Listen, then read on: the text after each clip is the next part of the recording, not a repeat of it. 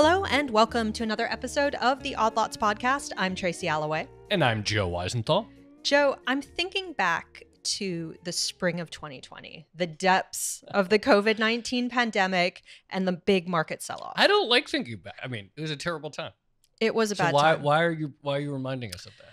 Well, I remember we spoke to one particular guest in, I think it was May of 2020. And he came on and basically said that we're going to see a bad economic recovery and we're going to see inflation as a result of what was happening. And I think at the time, both you and I were a little a little skeptical. You know, at that particular moment, everyone was talking about deflation and the possibility of a prolonged Right. depression, really. Yeah, you're totally right. And then also by like sort of late 2020 or even like summer 2020, optimism started to grow. Oh, that, yeah. oh, we're gonna have this. We're gonna come out of this with a boom. That we got the policy just right. That we're gonna have all. You know, We avoided the mistakes of 2008. Yeah, that's right. That's right. And the stock market was surging, and I think there was just a lot of optimism, even outside the stock market, that like we were going to be on this new superior trajectory post pandemic. Yeah. And of course, now fast forward about two years, and uh, we're talking about the pain of higher interest rates as the Federal Reserve Yep. tries to tamp down on inflation that is at its highest in, I think, four decades. People are talking about stress in the financial Mhm. market, the potential for something to break as these rate increases go through. And we're- we're already seeing some stuff internationally start to break. So I think it's a perfect time to catch up with that original guest who did get a lot right in May of 2020 when, you know, there was a lot of uncertainty. Yeah, you know, something you mentioned this fears of that something is going to break. And I'm thinking, you know, our uh, regular guest, Jon Turek, has re- written Mhm. about this and others. This idea that what if, you know, the real economy, employment is holding up okay, but the financial system starts to creak and that something breaks in the financial system, creating this real tension for central banks that still want to fight inflation. It's a pretty confusing time. It is. So, why don't we bring in Nouriel Roubini? Of course, we're All going to let him do a victory lap on the show, but we also want to talk to him about the risks that he's seeing now because he has a new book out. It's uh it's coming out on October 18th. It's called Mega Threats: 10 Dangerous Trends That Imperil Our Future and How to Survive Them. So, hopefully the perfect person to Let's be speaking to right now. Uh Nouriel Roubini, thank you so much for joining us. Great being with you. Such a pleasure to do it again. Shall we should we let you have that victory lap? so, you know, how did what did you see in early 2020 that you think other people, notably perhaps um, certain policymakers, might have missed? Well, at that time, uh, the entire talk was about uh, the risk of not just an economic contraction, but also of deflation, because it was a shock to aggregate demand and a credit crunch. But I think what I, I saw that other people saw as well, you know, early on, people like uh, Larry Summers, uh, Mohamed El Erian, and others talked that the amount of the stimulus, monetary and fiscal, will be excessive. Of course, we didn't do enough on the fiscal side in 2008, but between Trump and Biden, we had about $5 trillion of fiscal stimulus. That is something like uh, about 20% of GDP. That was excessive. And of course, the Fed uh, went back to zero, credit easing, quantitative easing, backstopping, money market, commercial paper, high yield, high grade, uh, banks, non-banks, corporates, households, you name it, everybody under the sun. Uh, I think the difference between me and people like Larry was that they were stressing that there will be inflation because of a aggregate demand shock, too much stimulus, Mm. and I agreed on that. That half of the problem was bad policies to lose monetary, fiscal, and credit easing. But from early on, I also realized that this will be a negative aggregate supply shock, the disruption that came to global supply chains, the shutdown of economic activity from services to initially manufacturing, uh, the reduction in the labor supply, and then we ended up with a great resignation. And those uh, initial negative supply shock was amplified, of course, this year by the Russian invasion of Ukraine, this brutal invasion has led to a spike in uh, oil and uh, natural gas prices, food, fertilizers, industrial metals. That's another negative supply shock. And the third one is the continuation of the zero tolerance policy of China towards COVID that's creating further bottlenecks. So most people were saying we're going to get inflation because of excessive overeating because of the bad policy and excessive stimulus. I think my contribution to that discussion was to emphasize uh, the aggregate supply shocks. I'm old enough and I have gray hair, and I remember the two oil shocks of 73 and 79 that led not only to inflation, but also to stagflation. So most people were worried about inflation and overheating and excessive growth. I started to worry about instead not only inflation, but also recession because of the negative supply shock. So that was maybe the, the so, new twist that I gave to that debate. So, looking at the situation today in October um, 2022, we still have obviously extremely elevated inflation, really no signs that it's turning the corner yet at all. Maybe a little bit if you look at headline. Of the elevated inflation today, how much would you at this point attribute it to the persistence of these supply shocks that you identify, including the ongoing war, versus still paying the price in some way for what you characterize as ex- uh, excessive fiscal and monetary policy? Because I think it matters when thinking about how much the Fed is going to have to tighten to get uh, inflation back to its target. Well, it depends on the countries. I would say the Solomonic answer is half and half. But of course, in Europe, given the exposure to Russian energy, is more that shock. Uh, in the US, we had, uh, in terms of monetary, fiscal, and credit easing, even worse than Europe. And Europe did a lot. In the UK, in addition to that, there was another negative supply shock, self inflicted. That was the Brexit decision that was stagflationary, reduced the growth and increased the cost of production. Uh, same thing in China. Some of it is self inflicted.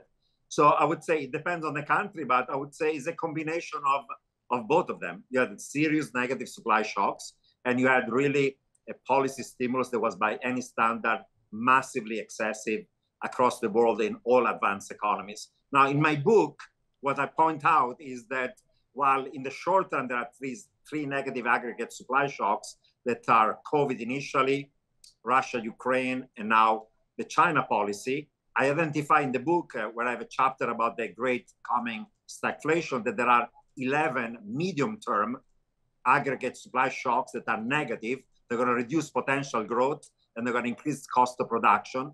And if then you have a loose monetary and fiscal policy, because I expect that central banks are going to blink for a reason I can discuss, then we end up like the 70s with inflation and stagflation and with a debt crisis as well.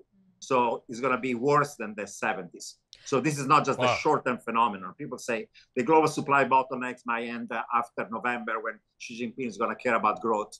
I think there are many other forces. Is uh, protectionism and deglobalization, friendshoring and reshoring of manufacturing from China to high-cost Europe and US, aging of population, restriction of migration, decoupling between US and China, geopolitical risk and depression that's going to fragment, decouple, balkanize, and deglobalize the global economy, the impact of global climate change, the impact of uh, uh, cyber warfare, the impact of recurrent pandemics, the backlash against income and wealth inequalities leading to policies pro labor workers and so on. And of course, de dollarization of the dollar when eventually people are going to get out of dollar assets because of the financial sanction and so on. Those are 11 forces that are medium term. They have nothing to do with COVID and Russia, Ukraine. They're going to be reducing growth increase cost of production. And I think central banks will have to blink. Mm. Like the first example is what happened in the UK. If you're going to have an economic crash, you're going to have a financial crash as you increase interest rates, you're going to wimp out, guaranteed. The Fed did it in 2019. The BOE has done it now. The ECB is going to have to do it. The Fed is going to do it. It's going to happen for sure. And therefore, we're going to have an unhinging of inflation expectation. I don't believe central banks, when they say we're going to do fight inflation at any cost, even if there is a recession, even if there's a hard landing. First of all, it's not going to be a short and shallow recession. It's going to be ugly. And then you'll have financial stresses and a financial and a debt crisis. At that point, they're going to wimp out. It went out actually worse than the 70s, because in the 70s, we had two stagflationary shocks and with inflation and recession, but that ratio were 100% of GDP for private and public sector and advanced economies.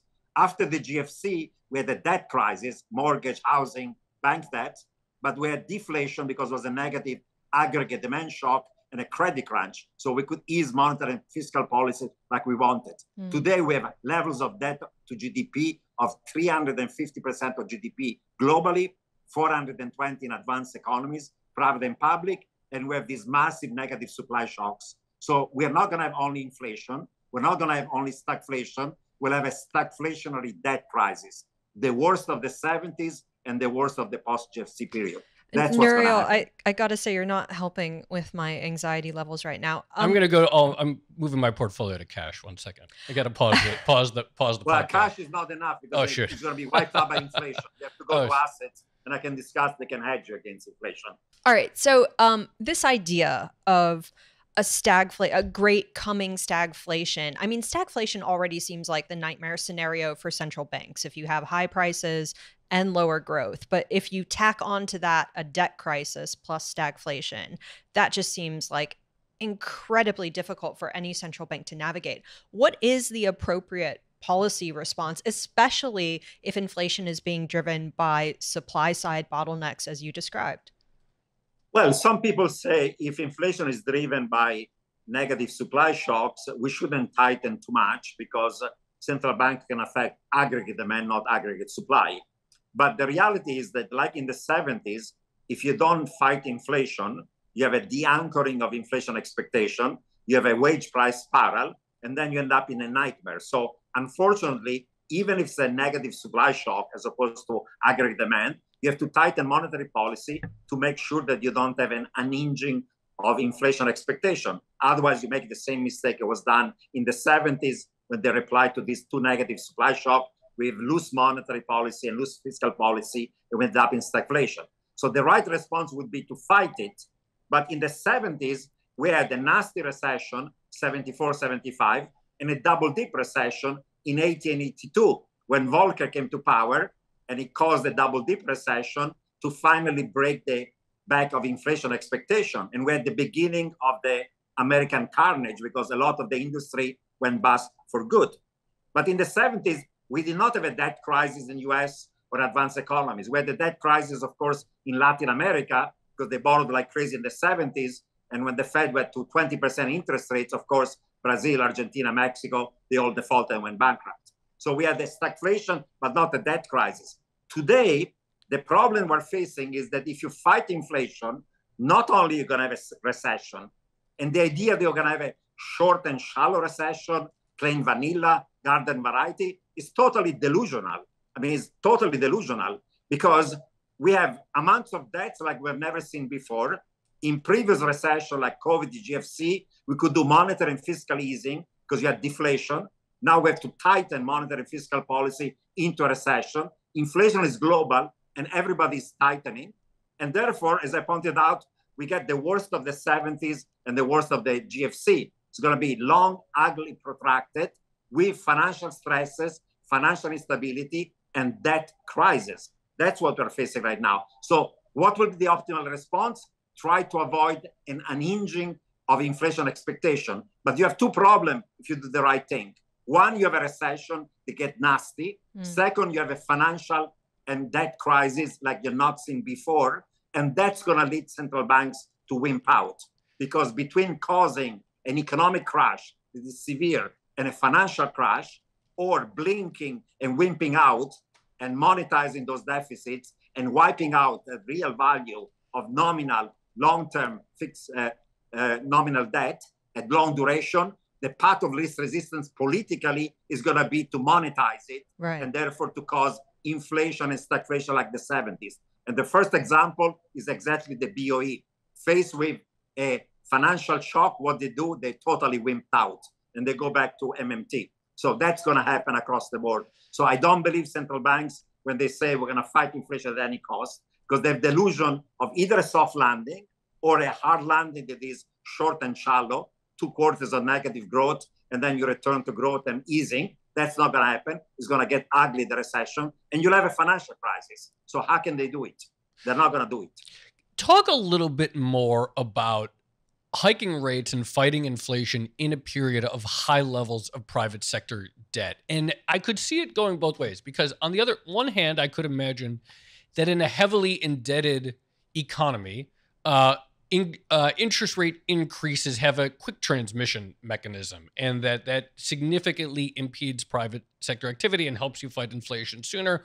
Or I could see it the other way that uh, high levels of private sector debt uh, create a oversensitivity, maybe the debt crisis scenario that you're talking about. Walk through us specifically how it unfolds, the intersection in the US of higher rates and high levels of indebtedness. Um, in short, it becomes very ugly. And it becomes very ugly because uh, uh, the indebtedness of the private sector in the US was very high and rising even after the GFC because we had zero rates, uh, QE, credit easing, and so on. And then we doubled down on it uh, uh, during the COVID crisis. And of course, during the GFC was household debt and banks, but then the build up in the next decade was of corporate debt and of shadow banks, mm. leverage loans, CLOs, high yield, high grade, fallen angels, and you name it. And while the debt of the household sector is now reduced, uh, there are significant pockets of the household sector, those who have low income and low wealth and they're borrowing, they're going to be under stress, especially as they get unemployed. So the biggest stress is going to be corporates and shadow banks, but eventually the official banks are linked to the shadow banks, and the household sector is going to also get in trouble. Those who have low income, they don't have much wealth, they have a lot of debt, and their income is fragile to a recession. So we'll have a debt crisis. So what's happening in this situation is that if you don't fight uh, inflation, if you fight inflation, first of all, you have to jack up interest rates to the point in which there is a debt crisis, a recession, and then interest rates are so high that the zombie household, corporates, banks, shadow banks, government, countries that are insolvent are going to go bankrupt. And they were bailed out twice during the GFC, during COVID. We had high debt ratios, but we had low debt servicing ratio because of zero rates on the short end, on the long end, and all the other policy of easing. Now, instead, into a recession, we have to raise rates because there is inflation. So those who were swimming naked as the tigress seeds, you'll see where they were. Those who were the emperor without clothes, you'll see where they are. And the zombies are going to be recognized as zombies are going to default. We're not going to be able to bail them out this time around. We'll have to raise rates and they're going to go bankrupt across the board.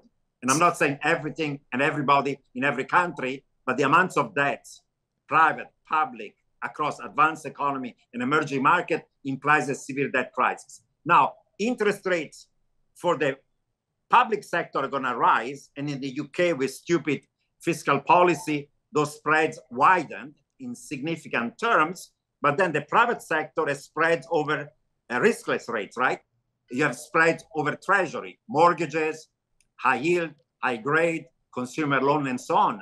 So if you are an insolvent agent, uh, it's not going to be just increasing long-term interest rates on treasury. It's going to increase your cost of servicing your debt, but the spread widening on your own private debt is going to cause another reason for default. And already high yield right now has gone from 300 to mm. over 600. The entire CLO and leverage loan market right now is shut down, literally shut down and this is only the beginning of it, of that stress on the private sector. So, so we're going to see significant financial distress in the corporate sector, in the shadow banks, in parts of the household sector. So, I mean, you just laid out basically the stuff that you think could break first as interest rates rise. Where do you see other pockets of weakness? And I'm thinking specifically about some of the international developments, the impact of the stronger dollar. We've seen that weigh already on a number of emerging markets who have taken out dollar denominated debt. That's getting a lot more expensive as rates go up and the dollar strengthens at the same time. Talk to us about the, the sort of international repercussions here. Well, the international repercussions for emerging market is that many, not all of them, of these emerging markets are in deep, deep trouble I don't want to lump them together. There are better credits, worse credits, better sovereign, worse sovereigns. So you have about 40 countries, but I would say good two thirds of them are in trouble. And they're in trouble for several reasons. One, interest rates are rising in US in advanced economies. So their interest rates and their spreads are rising even more. Two, their currencies are weakening as the dollar is strengthening. And unless you are a commodity exporter, mostly the guys in the Gulf who are making a fortune. Everybody else among emerging markets tend to be, with few exceptions, a commodity importer. especially in Asia, but also in other parts of the world. And therefore, you have also terms of trade shock. So it's a it's a quadruple whammy. You have first of all the raise of interest rates in advanced economy, pushing your interest rates higher. You have the weakening of your currency, and you have a lot of dollar debt, and the real value goes higher. You have a negative terms of trade shock, and the slowdown of growth and the recession in US, in Europe, in UK, in China, effectively there be a recession, weakens your export markets your own economic growth. So it's the perfect storm for the weakest emerging markets. And I would say a good two thirds of these emerging markets right now have these types of economic and financial fragility. Now, if we're going to have a recession in the US, it's going to be even worse in Europe, in my view, for several reasons. Reason number one Europe is more exposed to the Russian energy shock, and it's going to get worse this war, and there'll be a total cutoff of natural gas. Secondly, the dollar is strong, and that reduces inflation. The euro is weak, that increases inflation. Inflation is already double digit in the eurozone, let alone in the UK. Three, Europe is exposed to export to China, and China is slowing down very, very, very sharply. And four, within the eurozone, you have this fragmentation risk of the risk of a widening of spreads of the periphery. They have this new tool, TPI, but if the new Italian government follows policies that are on a collision course with Europe, they're not going to qualify for the bailout that the ECB is going to make for those that have unwarranted widening of their spreads, as, as opposed to those that are warranted by poor economic and fiscal policy. So things are going to be even worse in Europe than they are in the US. And the basket case, of course, is the UK right now that is pricing like literally like an emerging market. Mm. Usually you do fiscal stimulus in US, the dollar gets stronger, interest rates rise only little. In the UK, the, the pound is collapsing and the interest rates are through the roof, even with the support of the BOE. So it's really becoming an emerging market. Is there a you know the way you describe things so much is already baked in particularly with these trends that are in place with deglobalization and uh, these shocks that we've seen to all supply chains and then the accumulated uh, debts that we've seen public and private? At this point are there better policy paths than what you expect uh, uh, uh leader policymakers to take i mean could there is there what, what, what is the wiggle room or what is the uh, what would what would you do what would you advise uh, policymakers and say the U.S. and Europe to do?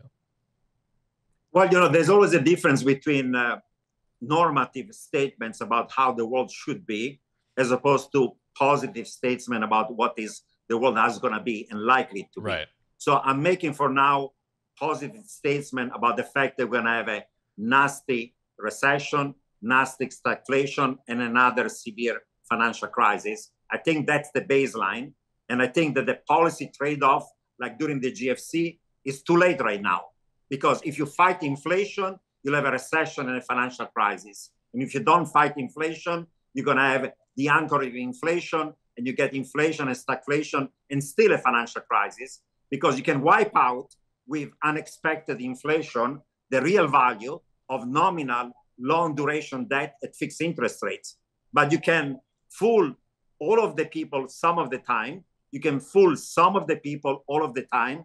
You cannot fool all of the people all of the time. And if we use the inflation tax to wipe out private and public debt is nominal, long duration at fixed interest rates, that's going to come to maturity and then it's going to reprice either at very high interest rates if you borrow long term or if you borrow short term, it's going to price in the inflation. Mm-hmm. So you can, for a couple of years, resolve a debt problem, private and public, with unexpected inflation, but then you're going to cause a bigger debt crisis because once prices reprice for inflation and the spreads, real spreads and nominal spread, and the inflation volatility leads you to higher nominal interest rates, then you have a bigger debt problem down the line. So I fear that right now we have three problems a problem of inflation, a problem of growth, and a problem of financial stability with too much debt and collapsing asset bubbles mm. and you cannot resolve them. I could tell you what I would do in principle, but whatever you do is not going to avoid a crisis at this point. The margin for action is very, very limited. I would tell you, if I were you, I would avoid the 70s, avoid inflation by going real hard on fighting inflation and avoiding at the anchoring of inflation expectation. But that's going to lead to a nasty recession and a financial crisis like we didn't have in the 70s because we didn't have a debt problem. And the recession in the 70s was a decade long stagnation.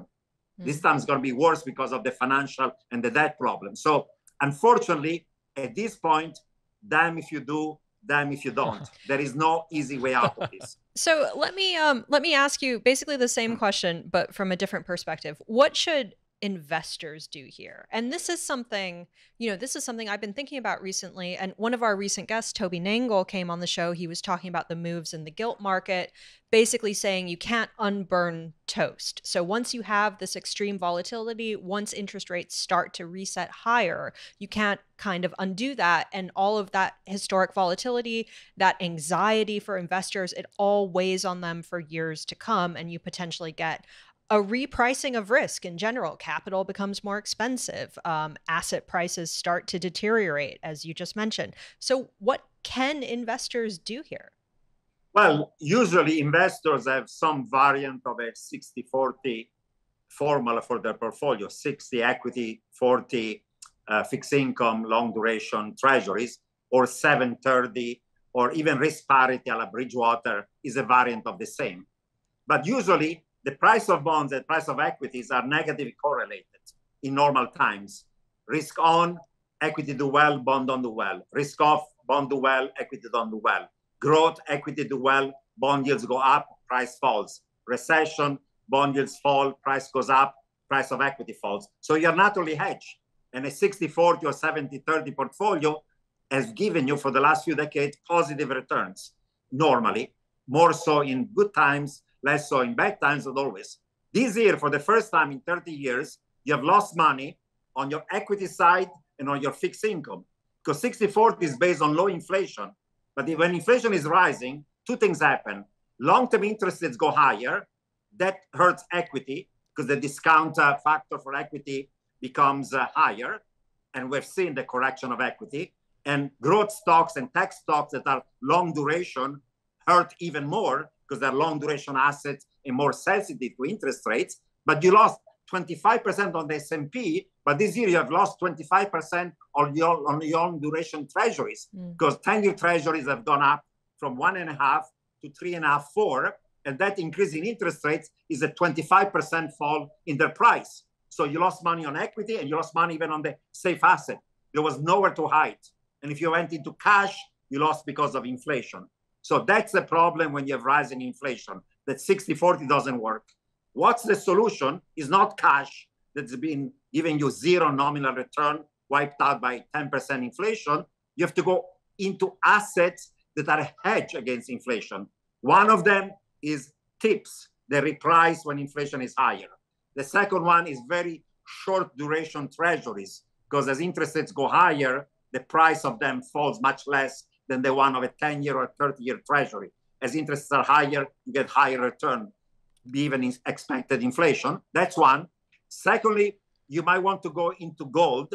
Gold has not done very well in the last year, but once inflation expectations become unhinged, when the central banks are going to blink, and until now central banks have played tough, that's why gold has done poorly because real rates were going higher. Then gold is going to outperform, like other precious metals, like probably many commodities, but the commodities are going to be hurt by the recession. So gold is actually less cyclical. Three, in the 70s, both equities and real estate did poorly, but equity did much worse than real estate. The P ratio for S&P was down to eight in 1982 because real estate is in fixed supply. You can often reprice the rents, and it's a good hedge against uh, inflation as long as monetary policy is not very tight. Of course, REITs this year have done poorly because the Fed was hiking. But again, when the Fed is going to wimp out, I think that real estate is going to outperform equities because of the nature of being a fixed supply kind of asset, at least in the short run. The only caveat is that a lot of real estate is going to be stranded because of global climate change. Literally, there are maps that show that half of the US in the next 20 years is going to be either underwater on the coastlines or too hot or droughts or wildfires to be living in it. And people have stupidly moved from New York to Miami and from San Francisco to Austin. But uh, Florida is going to be flooded and Texas is going to be too hot to survive there. So there'll have to be a massive migration from south and the coastline towards the only part of the US is going to survive climate change. This is the Midwest into essentially Canada. So there'll be trillions of dollars of real estate assets are going to be damaged by essentially global climate change. So if you have to worry about that, you have to find the types of investment in the right parts of the United States. So I would say a combination short-term treasuries of TIPS and other inflation index bonds, gold, and the right type of real estate is going to be the future. And I'm actually working on a financial product that is exactly creating first an index and then an ETF along the lines of hedging the risk of inflation and debasement of fiat currency by having a combination dynamically optimized of these assets. That's something I'm going to be launching in the next month or so. Yeah, I remember talking to you about it earlier in the year this idea of a sort of tokenized dollar that's more tied to hard assets. Is that, you yeah. know, this is also something we've discussed many times on the podcast at this yeah. point the idea of the dollar losing its reserve currency status. And one of the things about that is, you know, people have been talking about it for a long time and it hasn't yet happened. What, in your opinion, makes this time different? Several things. Of course, it's not going to happen overnight. The decline of reserve currency status takes uh, takes many years, but uh, there are at least uh, two factors. One is that the U.S. has very large current account and fiscal deficits. There are fiscal deficits in other advanced economies, but they tend to run current account surpluses or a balance, while we have a twin deficits. And historically, every time they had twin deficits and the dollar was too strong, you have a cycle of dollar going up and then has to go down in order to restore the external competitiveness. And the fall of the dollar can be 30 to 40% on a weighted uh, basis. So that's going to be something that is going to happen, especially as the Fed is going to wimp out while other central banks will have to start to tighten.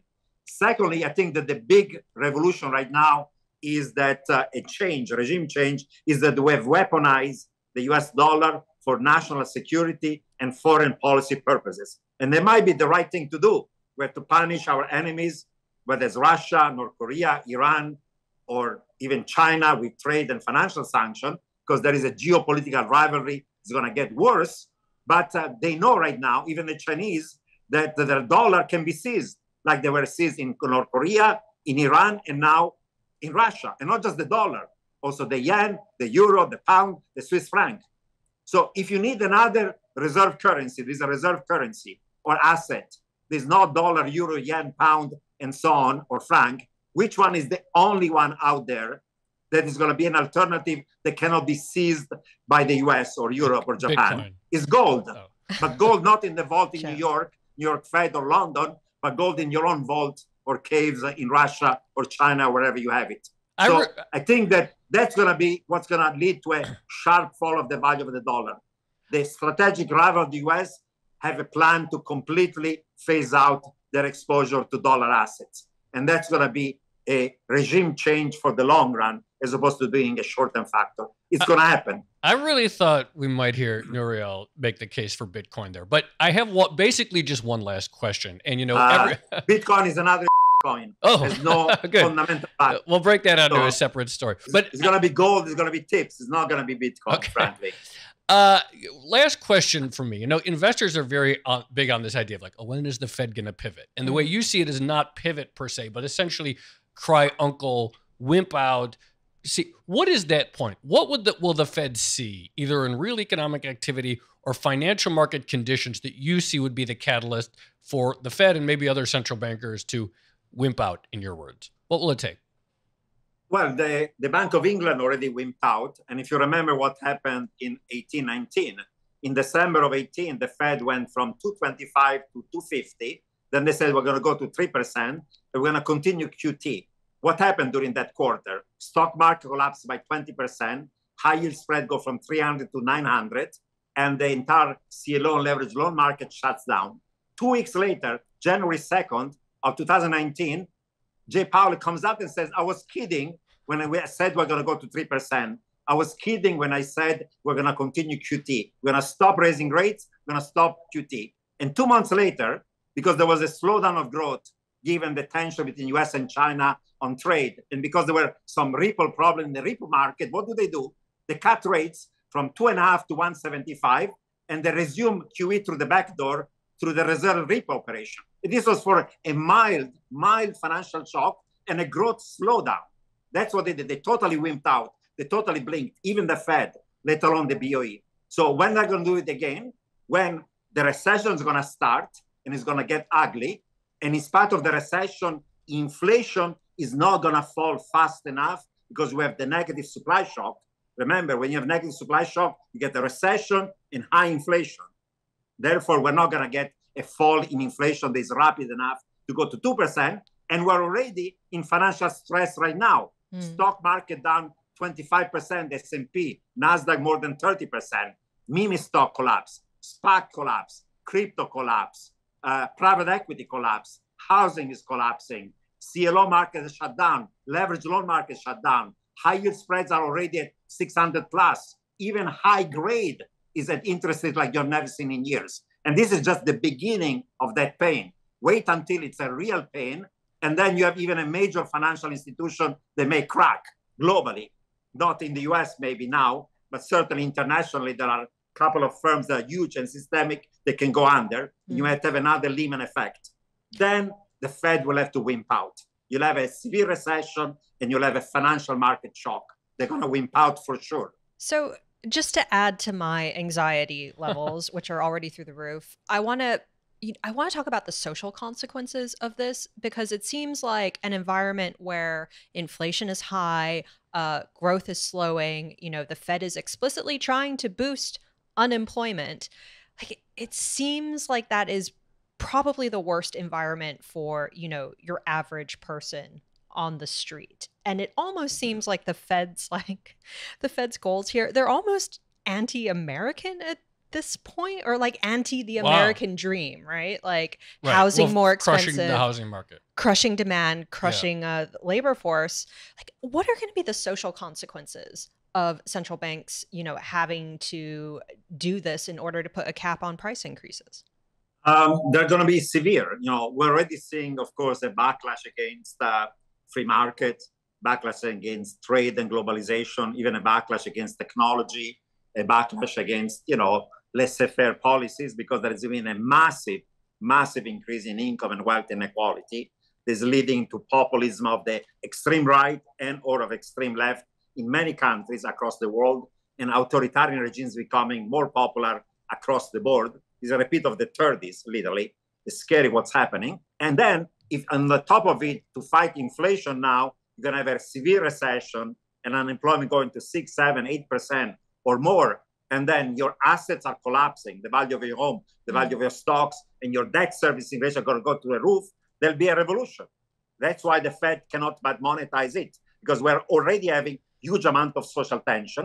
There is already massive political polarization. There are already so many people are angry, whether they are voting for the right or the left it doesn't matter. There are those who are left behind, those who have been screwed by globalization and the current sets of policies, those who don't have jobs and skills and income and wealth. You have, you know, 100,000 deaths of despair every year in the US from opioids and other drug overdose. You have 2 million people that are addicted to opioids. This is a massacre, literally a massacre. People are helpless, hopeless, jobless, skillless, wealthless, and they're desperate. That's leading to that resentment and people either voting for, on one side, Trump or right wing conspiracy types or for very extreme leftist policies, depending on whether you are socially and religiously conservative as opposed to liberal. But the economic policies are the same nativist, nationalist, against trade, against migration, against free market, and so on. So it's going to get more ugly. It's going to get more ugly because we're already at the breaking point. We could have literally in the US, as we know, the entire books written recently about the risk of civil war, violence, insurrection, secession. This is what is the risk that US is facing, let alone other countries. Not maybe in this election, but 2024. So we're already in a real time bomb in terms of social and political pressures, and an economic crisis, and a financial crisis, and a geopolitical crisis is going to make these things much worse, much worse. All right, Nouriel, Um, I think that's I can't say it's a good place to leave it, but it is definitely a place to leave it. We really appreciate you coming back on Odd Lots. Um, as I mentioned before, your insights, you know, broadly proved to turn out correct. Um, the last time we had you on the show, uh, the book Mega Threats 10 Dangerous Trends That Imperil Our Future and How to Survive Them is out on October 18th. Thanks so much, Nouriel. Uh, thanks for having me. Uh, great Thank pleasure you. again. Thank you, bye.